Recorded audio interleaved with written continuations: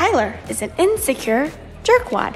Words were exchanged. Teenagers have to deal with a lot, and Disney's Pixar new movie Turning Red did a really great job exploring and explaining a young girl's adolescence in a fun and lovingly awkward way. Even though the message of the movie is pretty understandable, there are a few questions left that definitely need to be answered. Be aware spoilers if you haven't watched the movie yet. I didn't mean that.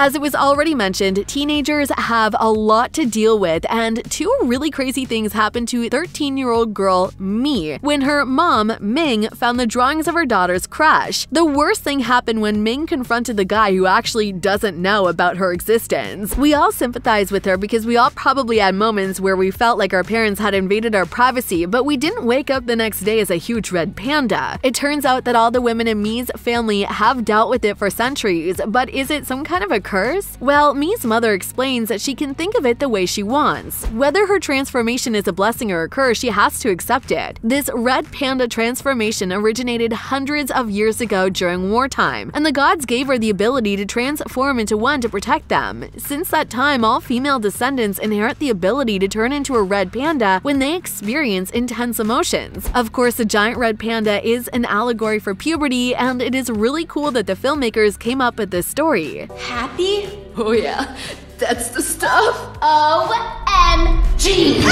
Red pandas are absolutely adorable, and all viewers, just like Mi's classmates, definitely fell in love with Mi when she turned into a fluffy red panda. The animated movie director, Domee Shi, told the New York Times that the animal's cuteness was one of her biggest reasons why they decided to transform Mi into a red panda. I wanted Mi to go through a magical puberty transformation, and I couldn't get the image of a red panda out of my head because it's so cute and funny, especially if you blow it up to like 8 feet tall, she said. There's something about the color too. Red represents your period. It represents being angry, being embarrassed, or being very lustful for someone. However, many fans were wondering if red pandas have any ties with the Chinese mythology, and it was also one of the reasons why the director chose the red panda in part. I think we wanted the space and the room to come up with a whole legend and a mythology, she told The Insider. Even though the red panda is native to China, it doesn't have a Chinese myth background, which gives the filmmakers to stand on their own and be free from cliches and traditions. I'm keeping it. What did she say?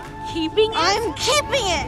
Mimi! Stop her. What are you doing? No! When Mi first transforms into a red panda, Ming is pretty sure she's gotten her period, but this is not exactly like that. Mi's panda image mostly represents her daughter's adult personality. Panda is energetic, funny, and definitely bold, but Ming and generations before her don't think it's okay. Ming's plan is to change her daughter and frame her and turn her into a perfect little lady. She wants her daughter to lock her panda as soon as possible. So, as you may understand now, the red panda doesn't just represent the menstrual cycle. It represents women's full complex humanity. The fact that Ming sealed her panda inside her is also a huge metaphor that shows the way that many women have been shrunk by the world. The world expects women to be nice, sweet, and helpful, but never weird, angry, or crass. This is so cool that Mi was the one who didn't want to hide her real self, and she showed everyone that you have to accept yourself and never hide your real personality. Each time you do,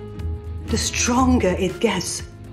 And then you'll be bound to it forever, and the ritual will fail. When you first meet Ming, she seems like the ruling and very powerful woman, at least in Mi's life. And it was probably the reason why Mi and her friends refer to Ming as the Empress when they make up a plan to make money for concert tickets. But everything changes when Wu, Min's mother and Mi's grandma, appears. Did you notice how Ming acts when Wu calls her? She transforms into a little girl again and asks her husband to say she's not there. But there's nothing impossible for an old lady's mafia mafias, Wu arrives in Toronto along with her ladies looking like a squad of mobsters decked out in dark sunglasses. Wu knows Mi's red panda spirit has emerged mere hours after Ming does. She was definitely watching footage of Panda Mi running across Toronto's rooftops while expertly tweezing her eyebrows. Don't even ask how she managed to get across the recording, she is a real mafia. It seems like Wu and the aunties really know a lot and there's no way that Ming or Mi can hide something from them. We're pretty sure you wouldn't be surprised to know that Wu has international contacts all around the world, right? The icing on the cake is the fact that the film's ending reveals Sun Yee herself to be the regal old woman. You'll probably agree that even though the movie is all about me, but who really runs the world is definitely Grandma. I'm sorry.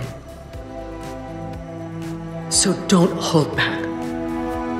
For anyone. Mi literally breaks her family tradition when she decides not to lock her red panda spirit away. She kind of breaks a generational cycle, one that deeply affected her mother Ming. However, it's weird that her mother doesn't understand that Mi didn't throw her family's legacy entirely out the window. In fact, her choice puts her right in line with the generations of women who kept their red panda spirits squarely in their bodies before her family immigrated to Canada. Ming doesn't really realize it, but she repeats her mother's mistake with her own daughter. Why? When Ming was a teenager, she started dating Mi's father, but her mom disapproved of it and she unleashed her panda. This is exactly what Ming did to Mi. Plus, Ming attacked her daughter in public and destroyed the stadium, and Mi also confronts her mom back, and their fight became some kind of a catharsis for Mi and partly as a distraction to get the ritual going again. This argument also led to a very powerful moment that wouldn't have happened if the mom and daughter didn't start it. It was a really transforming moment for Ming and Mi when Mi found found her mom in the ritual dimension being a 13 year old girl who wanted to explain to me that she was a little girl as well, just like her, and she was terrified of disappointing her own mom. The two had a really emotional heart to heart talk, and me then said she respected Ming's choice to hide her panda, but at the same time, she explained that she had another choice. So, the entire conflict was just made to make both of them understand the importance of accepting each other's choices. Guys, I can't be like this forever. My whole family would freak especially my mom. Who said Turning Red was made for kids only? There are so many millennials who really adore this animated movie, and one of the biggest reasons is that the filmmakers never lose an opportunity to remind you that the movie is taking place in 2002. How many 2000s things have you noticed in the movie so far? Leave your list in the comment section down below. As for us, we definitely remember Mi's chirping Tamagotchi and Chunky Nokia. Oh, sorry, joke yeah. Phones her friends uses to text each other crucial panda updates. And of course, Four Town gives us the biggest Y2K era ever. Remember those baggy jeans and rhythmic hand claps that were so popular in the 2000s? If you're a millennial, of course. And of course, there are so many of The Simpsons and Twilight Easter eggs. We really want to know if you notice them. The way the filmmakers recreated the aughts made all of the millennials re examine their own use. According to the director of the movie, she said that that was the plan to get into this demographic. Speaking with Elle Canada, that, she revealed that she drew on her own two decade old memories of middle school for the movie, and it's safe to say that the public was absolutely hungry for remembrances of the aughts. Gotta get home! Gotta hide! Have we answered all of the questions that you were interested in? If not, you can leave your question in the comment section down below and we'll answer it. Thanks for watching and we'll see you next time. Bye! That was you in the bathroom!